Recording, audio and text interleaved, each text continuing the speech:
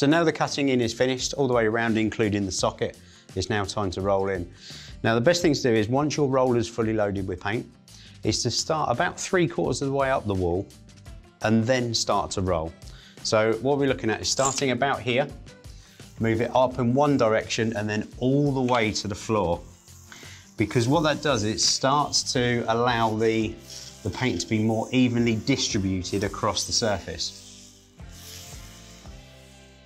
So when we go to put our second roller on, what we're going to be doing is starting half a roller width away from the area that we just finished and start the same process again. One rollerful up, all the way to the floor, back up again. This time we move over that half a roller width to the right and then finish that piece off. Once you've applied two, two rollerfuls, what we can then do is back roll to ensure that we can smooth off the finish a bit more.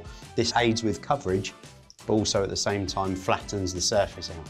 So no extra pressure, no more paint, very lightly, up and down the surface, flattens the texture and ensures we get much better coverage. And repeat.